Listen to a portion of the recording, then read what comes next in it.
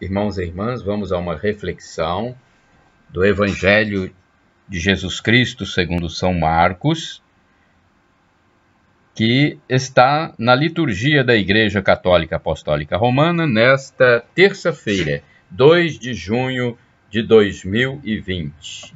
É uma reflexão importante é, que eu pesquisei a partir de outra reflexão do querido professor Felipe Aquino. Reflexão do Evangelho desta terça-feira, 2 de junho de 2020, da Igreja Católica.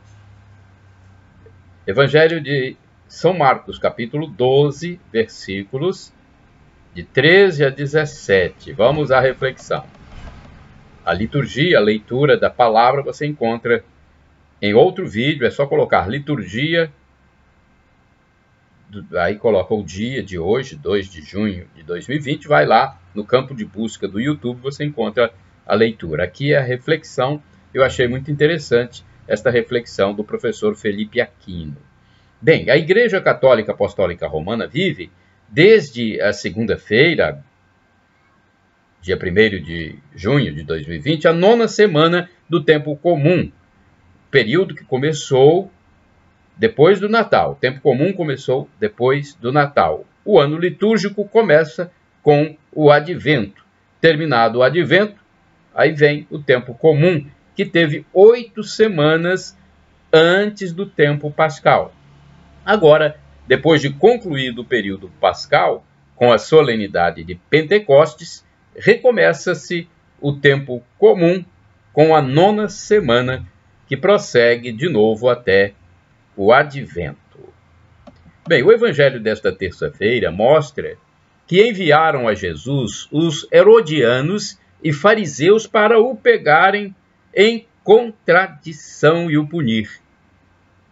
Os herodianos eram seguidores de Herodes, rei da Palestina, de origem idumeia, colocado no poder da, da região por Roma, o império. Ele fazia cobrar impostos para Roma, era amigo e dependia de César, mas não era amigo dos fariseus. Os herodianos não seguiam a lei judaica como os fariseus seguiam, mas mesmo sendo inimigos, herodianos e fariseus se unem para armar uma cilada contra Jesus. E eles, então, aparecem como lobos vestidos de ovelha, elogiando, aplaudindo Jesus, agiam, na verdade, como falsos profetas. Mas era uma grande hipocrisia, uma falsidade, pois, na verdade, o que eles intencionavam era incriminar Jesus. Fizeram-lhe uma pergunta capciosa: se deviam pagar impostos se Jesus, se Jesus dissesse que era lícito pagar imposto a César, os seus interlocutores iriam incriminá-lo, dizendo que ele se punha contra o povo judeu, que estava sendo massacrado pelos romanos e ainda tinham que pagar impostos. Eles, aqueles que foram perguntar a Jesus se deviam pagar impostos, iam jogar Jesus contra o povo judeu, o povo judeu, que é o próprio povo de Jesus. Se Jesus dissesse para não pagar o imposto, então se dissesse para pagar era um problema com os judeus. Se dissesse para não pagar o imposto a César, os herodianos iriam imediatamente contar a Herodes, que certamente iria puni-lo por desobedecer a ordem do imperador, que era cobrar impostos. A moeda tinha a cara do rei de um lado e a coroa do rei do outro. A moeda pertencia ao rei e quem a falsificasse teria pena de morte. Jesus, ao pedir a moeda, né? então Jesus pediu uma moeda para responder à pergunta deles. Eles perguntaram se deviam pagar imposto. Jesus pega a moeda e diz: De quem é essa imagem? Mostra para eles. E eles respondem: É de César. Aí determina Jesus: Dai então a César o que é de César e a Deus o que é de Deus. E todos ficaram admirados, porque Jesus não caiu na lábia deles, na armadilha deles. Deus respeita as autoridades, autoridade civil, autoridade religiosa, até o reinado do imperador Napoleão Bonaparte, que viveu no período de 1769 e 1821, o Estado estava unido com a Igreja. A partir daí, a partir daí separou-se o Estado da Igreja. Assim, cada um tem a sua independência, ou seja, os cristãos são cidadãos e a Igreja reconhece os direitos civis. O cristão, ele deve cuidar da pátria, pagar os impostos, respeitar as autoridades constituídas, é uma, um dever dele. E há também o direito de Deus. Dai a Deus o que é de Deus, disse Jesus. Então, existem os dois lados. O quinto mandamento da igreja, que está no catecismo da igreja católica, observa que todo cristão é obrigado a ajudar a igreja nas suas necessidades materiais, cada um conforme as suas possibilidades, ou seja, quem tem mais pode dar mais, quem tem menos pode dar menos. O catecismo da Igreja Católica e o Código do Direito Canônico nem falam em 10% para o dízimo, embora seja bonita a atitude de quem paga essa porcentagem de sua renda. O importante é ajudar a igreja em todas as suas necessidades. A doutrina social da igreja é a proposta para o mundo e os governantes aplicarem a justiça social em suas ações. Essa doutrina começou por causa da Revolução Comunista em 1917, um sistema político ateu e materialista que matou mais de 100 milhões de pessoas e que queria resolver o problema do mundo pela força, desapropriando e tomando os bens de todos. A igreja, então, a partir daí, com a Rerum Novarum, do Papa Adriano XIII e outras encíclicas sociais de outros papas, criou a doutrina social da Igreja. O Vaticano publicou um compêndio da doutrina social da Igreja com cerca de 600 páginas, onde se propõe a justiça social à luz do Evangelho. O próprio é, catecismo tem as informações para os católicos pesquisarem era importante que cada católico tivesse em casa o seu catecismo para, de vez em quando, pesquisar.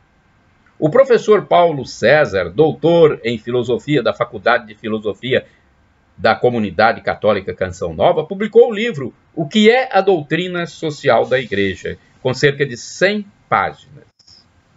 Em síntese, a igreja não quer o comunismo estatizante, ateu, materialista, violento, ou seja, não é marxismo, comunismo, leninismo que vai resolver o problema do mundo. A igreja é contra esse sistema. Mas também não é o capitalismo selvagem em que só se pensa no lucro e exploração de todos. A igreja reconhece a importância do Estado e a importância do indivíduo. Ela não quer que o Estado seja dono do indivíduo. Cada família deve educar seus filhos conforme a sua fé, os seus valores.